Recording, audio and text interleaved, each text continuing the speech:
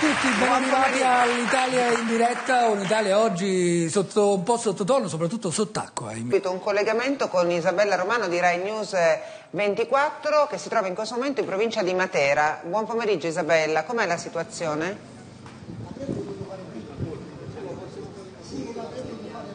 Ci senti Isabella?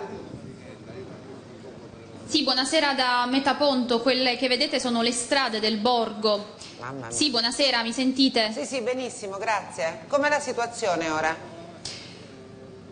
Ecco, queste sono le, le strade del borgo di Metaponto che sono diventate veri e propri veri e propri fiumi, siamo a una quarantina di chilometri da Matera vicini al confine tra Puglia e Basilicata. In questo momento il maltempo come vedete ha concesso una tregua, non piove più da circa un'ora ma sono state davvero eh, due giornate eh, dure per questa regione che è nuovamente in ginocchio. Ci sono almeno quasi 200 persone eh, sfollate che hanno dovuto lasciare le loro eh, case per precauzione, le loro case eh, vicine ai fiumi, ci sono campi allagati, esercizi esercizi commerciali nuovamente invasi dal fango eh, e tutto questo accade a meno di due mesi dalla tremenda alluvione dello scorso 7 ottobre che è costata la vita, lo ricordiamo, a quattro persone tra Ginosa e appunto eh, tra Metaponto dove ci troviamo proprio in questo momento. L'allerta resta ancora alta in Basilicata, oggi le scuole sono rimaste chiuse in una quindicina di comuni della fascia ionica eh, lucana, preoccupa lo stato dei fiumi che sono gonfi, sono straripati in più punti, tutti i fiumi della regione Agri, Sini, Bradano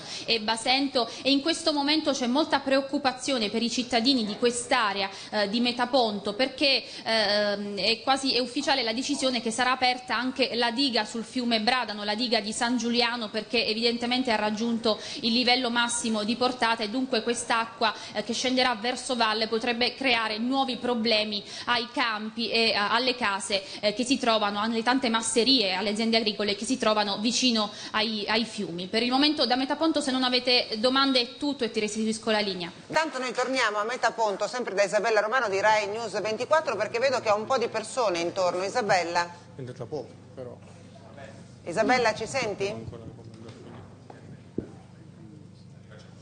Sì, proprio così, sentivamo la testimonianza di uno degli sfollati e qui come ci sono altre persone che hanno dovuto lasciare eh, le, loro, le, loro, case e le loro aziende. Angelo Nisi, eh, lei ha l'azienda eh, vicino a Serra Marina che è un'altra frazione di Metaponto nel, in provincia di Matera dove ci troviamo in questo momento. Ci raccontava però che eh, non è la prima volta che, che questo accade. No, è il terzo alluvione in eh, poco più di due anni, la gente ormai eh, si spaventa, le prime piogge arrivano, ci chiamano, dite andate via perché l'acqua, il bradano è sonda e quindi per noi che abbiamo un'azienda a poco più di 100 metri viviamo ormai con la paura, io come tutta la zona dove abito io. Purtroppo qui, nonostante i cittadini abbiano fatto sentire la propria rabbia, soltanto che ormai le istituzioni ci hanno abbandonato perché i, la messa in sicurezza del territorio da tre anni ormai, nonostante le denunce nostre, non sono state proprio accolte. Ecco, perché ricordiamo che la Basilicata, oltre all'ultima alluvione dello scorso 7 ottobre che ha causato eh, quattro morti tra Ginosa e Metaponto, ha vissuto anche un altro eh, grave evento alluvionale nel 2011, eh, un'alluvione alluvione che ha, ha, causato danni per 350 milioni di euro soltanto in Basilicata. L'ultima alluvione ha causato danni invece quella dello scorso ottobre per 56 milioni di euro sempre soltanto nella regione eh, Basilicata. Vi faccio sentire un'altra testimonianza, quella certo. della signora Pinuccia Sassone. Eh, lei invece ha un, un, esercizio commerciale, un negozio di mobili a Marconia di Pisticci che è un altro comune eh, della provincia di, di, Matera, non distante proprio dal capoluogo di, di provincia. Anche lei si trova ancora una volta volta a fare la conta dei danni, in realtà non aveva ancora fatto quella, la conta dei danni dello scorso 7 ottobre. Infatti il mio negozio si è allagato il 7 ottobre, si è riallagato anche ieri, non avevamo neanche finito i lavori di ripristino del negozio e siamo punto da capo, quindi danni su danni su danni. Vi sentite abbandonati? Eh, un pochino sì, sicuramente, insomma, cioè siamo qui, ce la stiamo cavando da soli così, però alla fine risposte zero.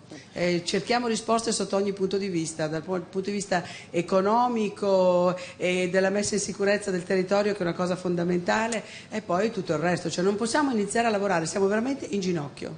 Isabella, ma dove stanno vivendo Gianni queste Fabris, persone? che è il portavoce del, di un'associazione, il Comitato Difendiamo le Terre Ioniche, eh, che In questo momento queste persone sono state, eh, sono state accolte negli, negli, hotel o nei centri di accoglienza creati appositamente dai comuni, dai comuni della fascia ionica lucana che dobbiamo dire si sono attrezzati in maniera eh, davvero efficiente perché questa Beh. volta la macchina della prevenzione eh, ha funzionato, è stata fatta una grande opera di informazione, le scuole come dicevamo anche le scuole per eh, limitare i danni sono rimaste chiuse nella giornata di sabato e anche oggi in una quindicina di, in una quindicina di comuni comuni. Ecco, come vedete questi cittadini, questi commercianti, agricoltori, eh, ormai fanno rete tra di loro perché in qualche modo si sentono un po' abbandonati. Gianni Fabris, lei coordina un po', fa passare le informazioni tra tutti gli agricoltori. Siete ancora in attesa di risposte. Eh, ci avete raccontato che l'alluvione della Basilicata dello scorso 7 ottobre è passata quasi inosservata anche agli occhi eh, dei, dei media. Aspettate risposte anche dallo Stato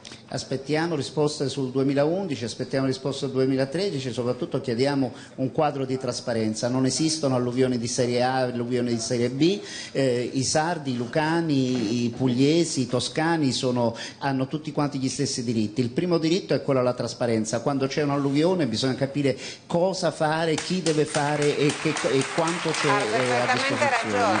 Eh, risarcimenti per chi ha avuto i danni è il primo diritto, il secondo è quello della messa in sicurezza sicurezza del territorio.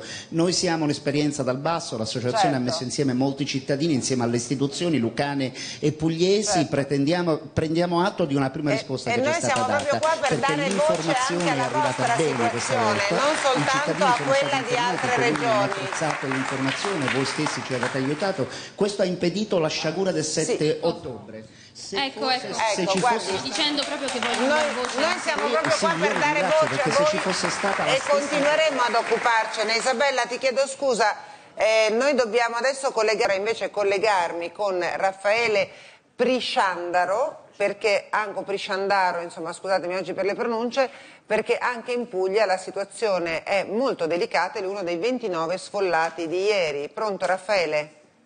Pronto, sì, mi dica. Ecco, buonasera Raffaele, volevo capire com'è la situazione, volevo capire com'è la situazione in Puglia, eh, come siete stati sfollati, dove siete adesso, che cosa vi serve, di cosa avete bisogno?